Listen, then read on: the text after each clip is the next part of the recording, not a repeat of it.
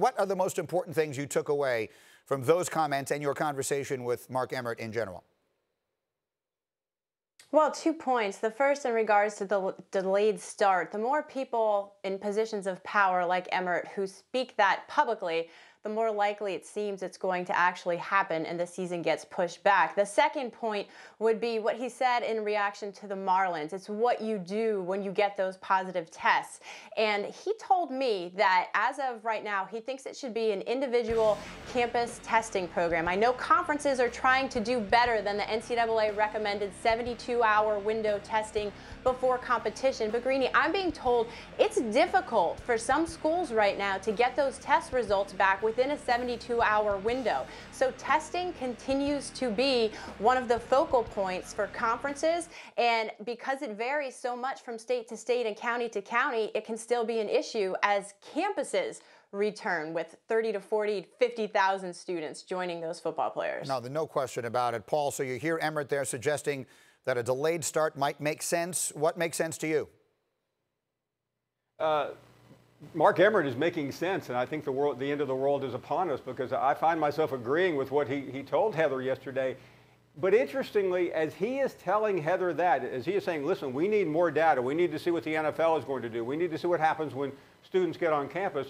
His organization is also green lighting schools like, like Oklahoma and Kansas to play a week earlier. So there's so much contradiction here. If you're going to play a week earlier, what good does that do other than it gives you an advantage in the event that you have an outbreak? So it, there is so many mixed messages, which brings us back to the original point that we've been having for months. Nobody is in charge. Mark Emmert uh, has the title, but he's just offering advice. That's it right now. That's correct. There is no obligation on the part of, candidly, almost anyone to follow what it is that he's suggesting. And Tim Hasselbeck, you brought up an interesting thought in our meeting this morning on, a day where, we, yesterday, where we saw so many NFL players opting out of the season, many of them leaving a lot of money on the table. What thought did you have as, as mm -hmm. regards college football? Well, seeing that and, and, knowing that you know the NFL has done a pretty good job because they've had to negotiate with the NFLPA in terms of making the environment for NFL players safe. Think about if you're a college player where, you know, there isn't, there hasn't been that negotiation, there hasn't been an advocate for you doing that. And so now just put yourself in the position of being a 19 year old college football player that's got to walk into a coach's office and say, hey, you know what, coach? I just don't feel safe. I, am not at high risk. I just, I don't feel safe doing that. And what type of reaction you think you might get? Sure, there might be some coaches that are understanding and they'll put their arm around you. But there will be plenty of other coaches that would really start to put pressure on that that you know that young player. And so I think when you look at that, this is a really I, I feel kind of a dangerous situation. Uh, and probably scary situation to be in if you are a young college football player that isn't really sure about playing. Heather, what are you hearing about that side of this?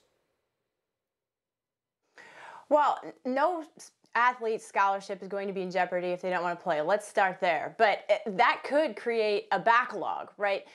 What I'm what I'm hearing is that student athletes want to play. I think that, that that's very important. And I think that's one of the reasons that you're seeing a decrease in positive tests around campuses. It's because they get the message. The student athletes are trying what they what they can do to follow those CDC guidelines and the athletic guidelines on campus. But you know what? I'm also told there's nothing a coach can do in terms of when it, when an athlete says, you know, I don't want to go to practice because I'm afraid of the coronavirus. How do you know that they're saying that and they just don't want to go to practice at 6 a.m.? So there's also that issue as well. What do you think, Paul?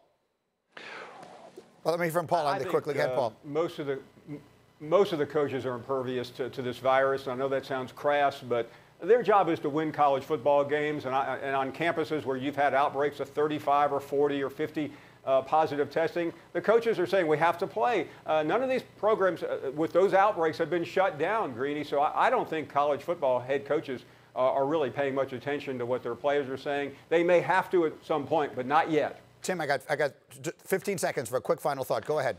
Well, listen, yeah, yeah, I'm sure you're not going to lose your scholarship, but like life can be made miserable. I mean, we've seen it before with other players that that maybe you know haven't seen eye to eye with a head coach. So I think there's that aspect of it. And yeah, I think the vast majority of players are going to want to play, much like the NFL. I think the vast majority players of NFL players are going to want to play. But that doesn't mean there isn't, you know, more than you would think that are uncomfortable with it, especially players that are looking at it and going, wait, I, I might be done with football in a year or two years from now. I have no NFL aspirations. Like I'm not playing at Clemson, I'm playing at Wake Forest. Like you have a different feeling about it, uh, you know, if, if that's your situation. Might be. I have to leave it there for the moment, guys. Outstanding. This continues to be probably the most interesting um, of all of the different subsets of, of the reaction to coronavirus in sports. Thank you for watching ESPN on YouTube. For live streaming sports and premium content, subscribe to ESPN Plus.